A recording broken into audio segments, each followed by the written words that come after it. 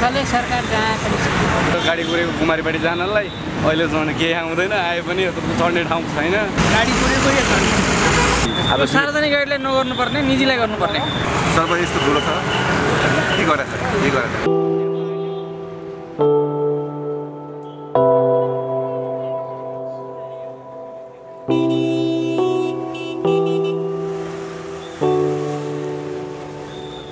सरकार त छ तर सरकारले गर्नुपर्ने काम चाहिँ गरिरहेको छैन। त्यसको लागि चाहिँ अलिक मनबाटै अलिक मन खिन्न भएर आइरहेको छ। ए एकदम गाह्रो भइरहेको छ।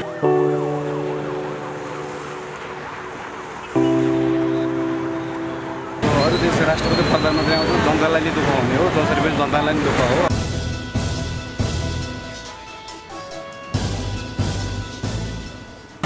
कहाँ छट्यो यता यो त पछाडि चाहिँ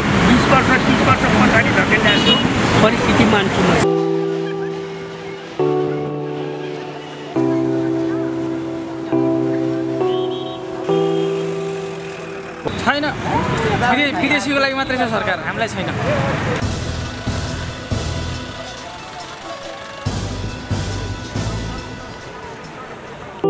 भयो भने त यहाँको चाहिँ स्वदेशीहरूको लागि औषधि उपचार गर्नु लागि गाडी नपाउने अब यहाँ चोर बिजोर लाएर दुनियाँको बिजोर गरिदिन भएन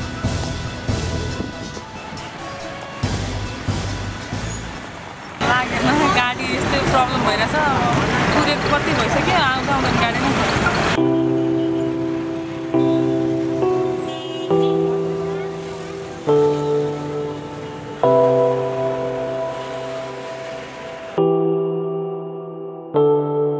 शास्ति भोग्ने जनताले सबै किसिमको शास्ति सबैतिरबाट पाउनु परिरहेको छ विदेशी आए पनि स्वदेशी आए पनि स्वदेशी आउँदा पनि त्यस्तै हुन्छ राष्ट्रपति स्वदेशी नै हुन् प्रधानमन्त्री स्वदेशी नै हुन्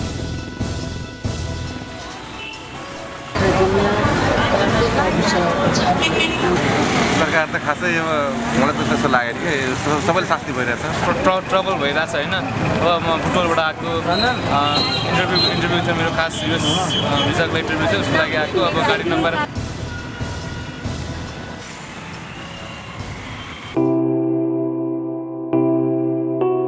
छैन।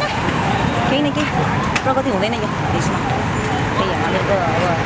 दाजुभाइ दिदीबहिनी नमिलेपछि त्यस्तै त कोही आवाज उठाउँदैन